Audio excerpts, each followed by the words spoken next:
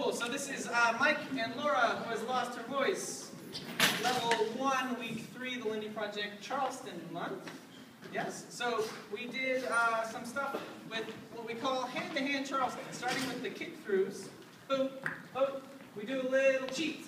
Hey, and we can make this into a move, or we can go into hand-to-hand. So we have kick, rock, step, hand-to-hand.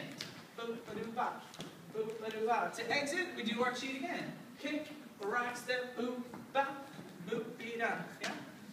Right? And then we did a little uh, rock, steppy, big kicky thing. Yeah? So we added another move that led into something cool. So we have our hand-to-hand.